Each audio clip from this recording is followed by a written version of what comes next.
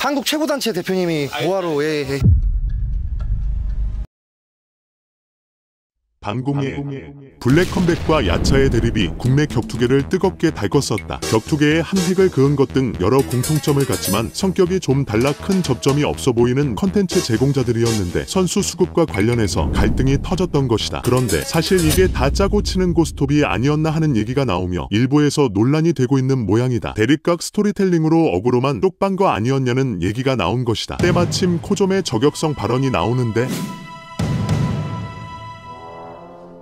보여. 스토리텔링 억지텐 짜친다.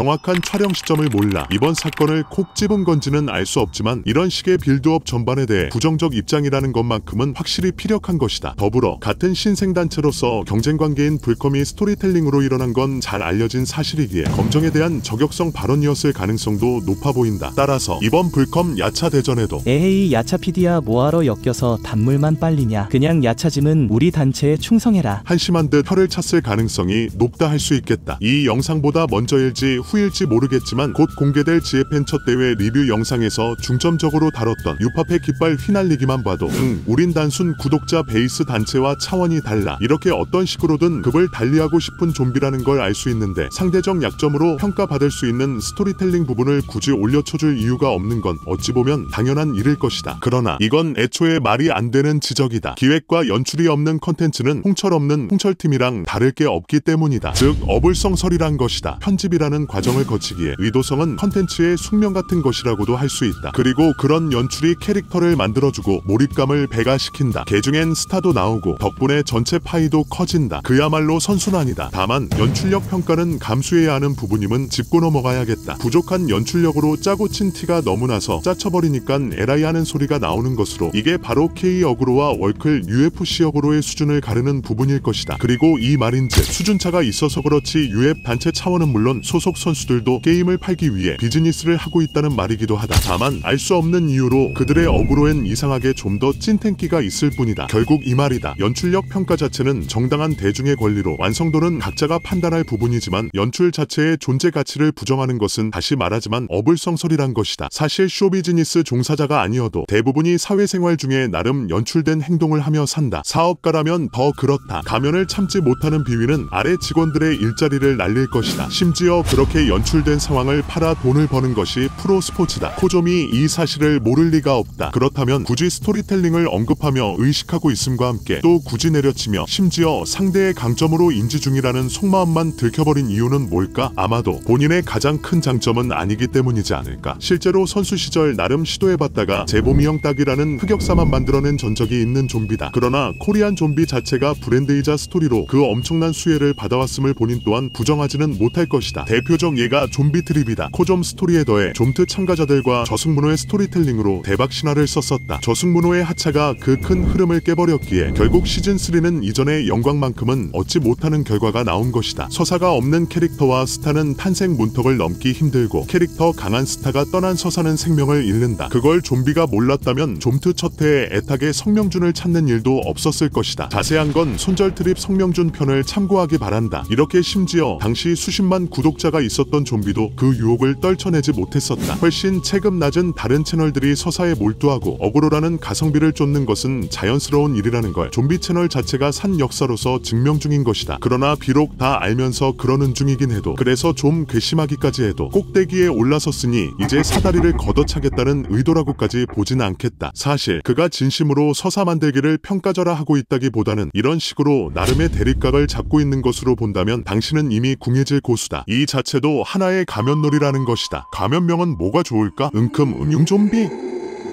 여러분이 멋지게 지어서 댓글에 남겨주시길. 따라서 우리는 즐기면 되겠다. 먼저 발작하는 사람이 지는 게임이다. 대회가 어느 시점부터 안 풀리기 시작하면 흑화된 가면을 볼지도 모른다. 때마침 누군가를 상당히 긁을 수 있는 야차 PD의 한마디. 한국 최고 단체 대표님이 뭐하러 예.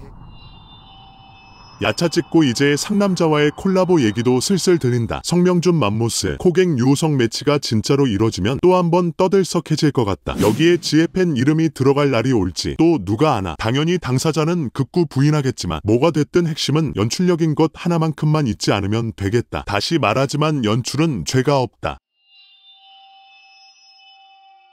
구독, 좋아요.